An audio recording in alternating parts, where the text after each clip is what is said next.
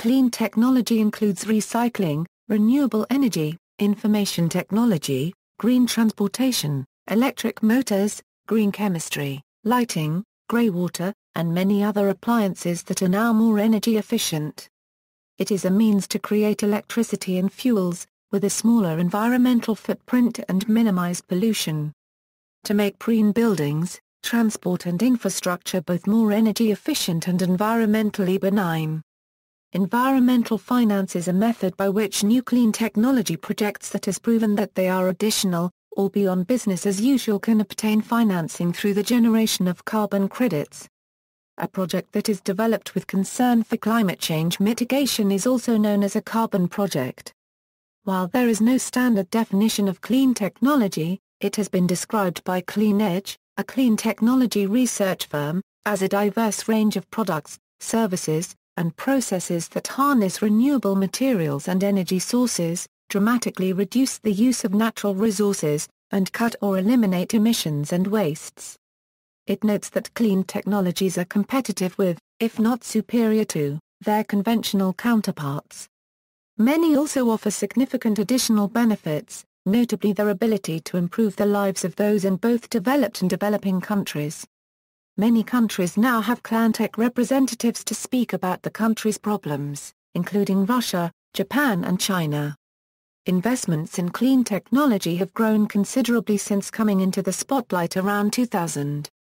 According to the United Nations Environment Programme, wind, solar, and biofuel companies received a record $148 billion in new funding in 2007 as rising oil prices and climate change policies encouraged investment in renewable energy. $50 billion of that funding went to wind power. Overall, investment in clean energy and energy efficiency industries rose 60% from 2006 to 2007.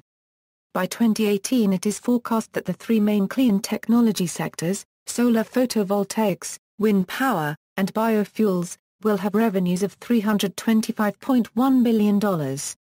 Cleantech Cleantech is any product or services that improves operational performance, productivity, or efficiency while reducing costs, inputs, energy consumption, waste, or environmental pollution. Its origin is the increased consumer, regulatory, and industry interest in clean forms of energy generation The Euro specifically, perhaps, the rise in awareness of global warming, climate change, and the impact on the natural environment from the burning of fossil fuels. Cleantech is often associated with venture capital funds and land use organizations. Overview The idea of Cleantech first emerged among a group of emerging technologies and industries, based on principles of biology, resource efficiency, and second-generation production concepts in basic industries. Examples include, energy efficiency, selective catalytic reduction, non-toxic materials, water purification, solar energy, wind energy, and new paradigms in energy conservation. Since the 1990s, interest in these technologies has increased with two trends, a decline in the relative cost of these technologies and a growing understanding of the link between industrial design used in the 19th century and early 20th century, such as fossil fuel power plants, the internal combustion engine, and chemical manufacturing, and an emerging understanding of human-caused impact on Earth systems resulting from their use. Investment In 2008, clean technology venture investments in North America, Europe, China, and India totaled a record $8.4 billion. Cleantech venture capital firms include NTEC, Cleantech Ventures, and Foundation Capital. The preliminary 2008 total represents the seventh consecutive year of growth in venture investing, widely recognized as a leading indicator of overall investment patterns. China is seen as a major growth market for Cleantech investments currently, with a focus on renewable energy technologies.